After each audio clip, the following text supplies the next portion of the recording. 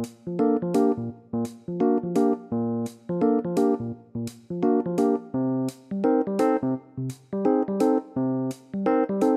guys, what is going on? Today is going to be hopefully a really quick, straightforward, easy tutorial on making some glitch text. So let's get into it, right? So first, we're going to just delete everything. Then you're going to Shift A, add a add text. Then you're going to go R Y 90.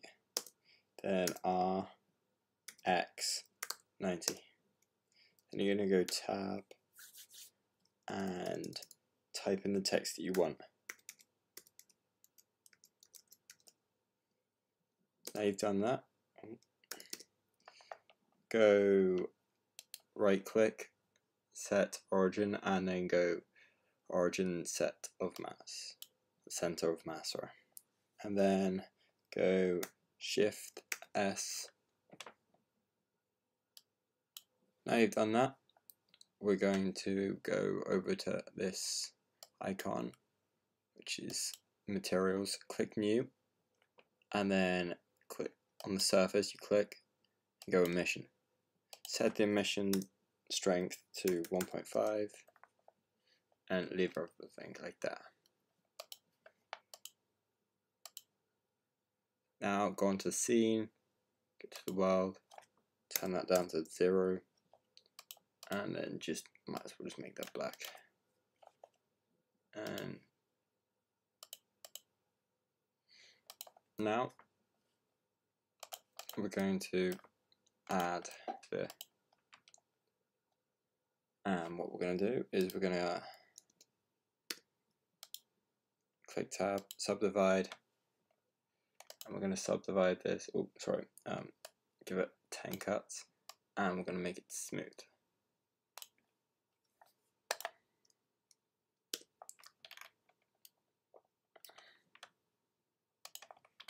And then we're gonna make it like this.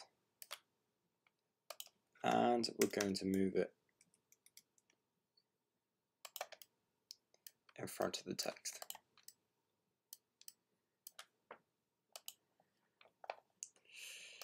This is what got me the first time I was trying to do this. So you want to go transmission all the way up to the top. You want to take roughness, take it to zero. Then, as we're using Eevee and it doesn't like show glass unless you have the screen space refraction on, click that, go to scene, go screen refraction, then click and then make sure this is clicked. If that's not clicked, you won't see anything. It will be like that. So this has to be on. Um, now that's done. You want to add some modifiers. You want to add a decimate and you want to add a displacement. Click new and then go here, go to clouds and then take the depth down to zero. Now we've done that, go to, go to this sphere, sphere and um, go to the shading.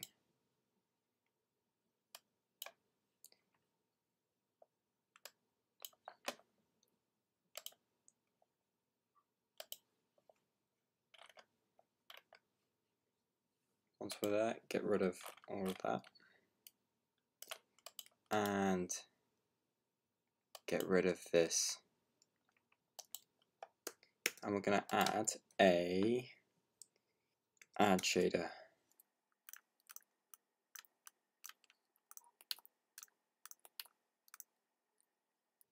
These two shaders are going to go connected to this, these two. And then we're going to have one more, like so.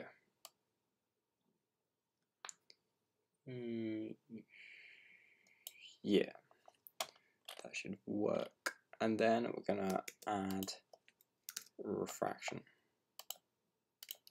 and these are going to be your colors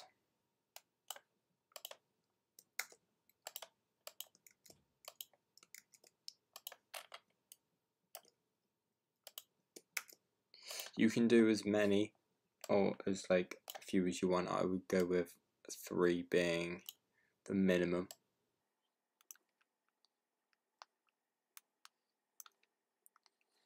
Um, hopefully this will work. I've gone ahead and chosen some colors with a hex code. So um, you can either just copy these codes in or just choose your own. Don't have to use hex.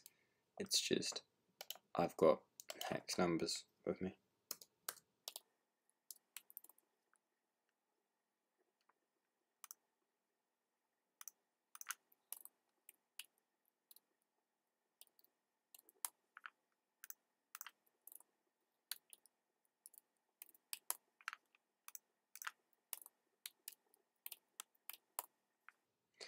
and when you bring the IOR up you can see it has like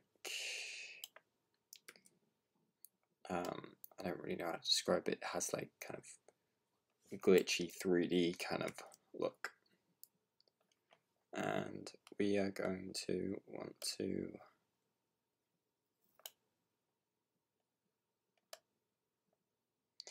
add in a timeline so that we can animate this. I want to give it, say,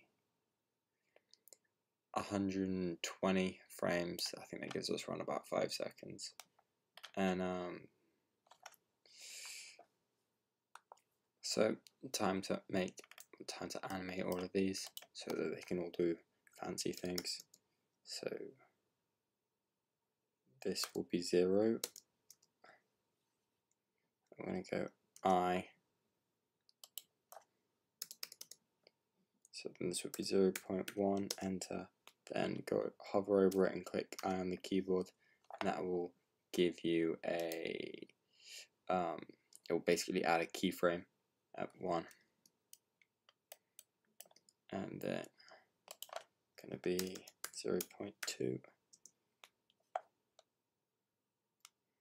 I then 0 0.3 I and then basically keep going up as many numbers as or as many refractions as you've got.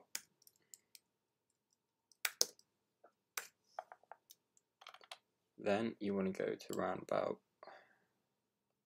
60 and then move everything to a 1.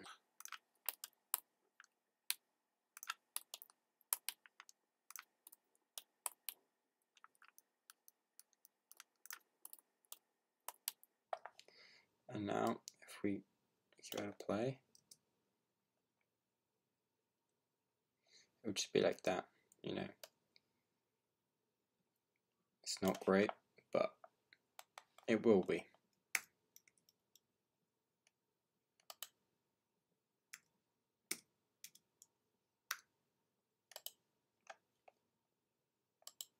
And then just wish it down.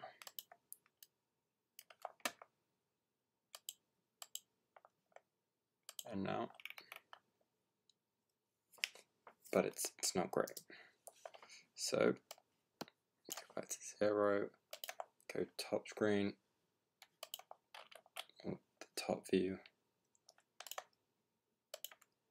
Then we're going to go Shift A going to add in an empty, empty plane, G on the Y and move it to, um, let's go here, which would be minus 10.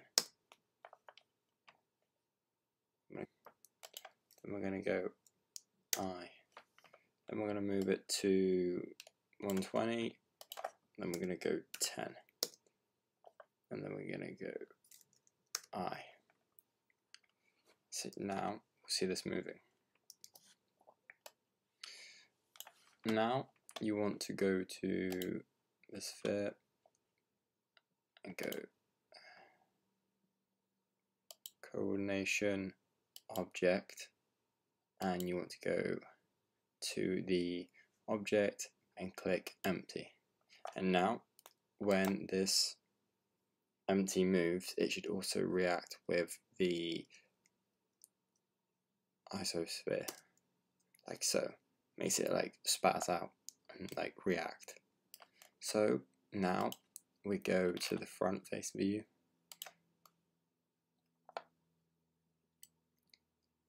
And we should now have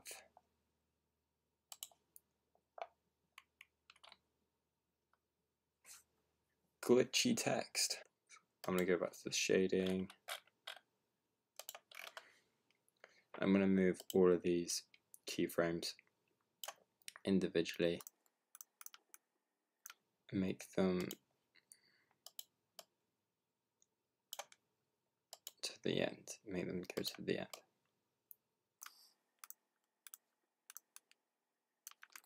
Hopefully now it will work a bit better. And there we go guys, it is done. All you need to do now is just add a camera and render your scene. If you liked it, please hit the like button and have a good rest of your day.